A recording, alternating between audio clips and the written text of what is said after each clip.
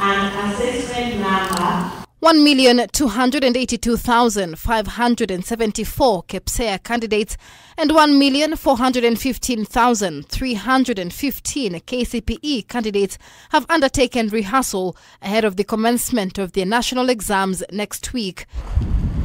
Speaking at Athi River Primary School while overseeing the rehearsal, NEC CEO Dr. David Njengere has assured learners in Baringo and other insecurity prone areas of enhanced security during the national exams. Mambo ya security pia Ministry of Interior iko na watahakikisha kwamba hakuna mtoto hata mmoja atakosa kufanya mtihani kwa sababu ya maneno ya security. Further, Njengere has urged parents not to fall prey of rogue people who sell non-existing examination materials, sending a stern warning to examiners found culpable of misleading learners and parents. We want to assure our candidates that there is nobody who has access to any of those papers. Anybody lying to you that they can give you the papers before the day of the exam, those are fraudsters. There is nobody who has access to those papers.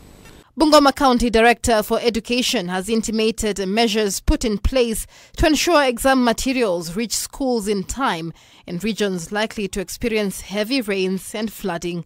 In case there's going to be uh, El Nino, we have made measures on the ground to ensure that our centers are not uh, interfered with. We might have some slight problems in uh, uh, Mount Elgon area because of the expansiveness of the area. However, in Nyeri County, three pupils will be sitting for their exams in Kingongo Prison Remand, two of which are KPSEA and one KCPE candidate. We have uh, confirmed cases of uh, hospitalization. Then we have three uh, candidates in the remand, that is in the prison. As always, we usually arrange and make sure they get their papers and are able to sit and have their papers packed. As the curtains close for the last KCPE class, ushering in the new competency based curriculum, teachers believe the new curriculum is headed in the right direction in churning the best fit for the job market.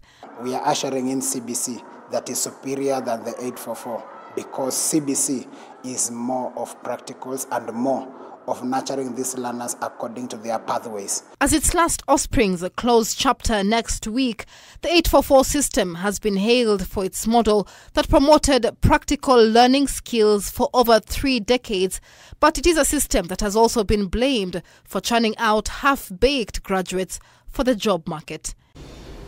Michelle Ngele Odhiambo, K24.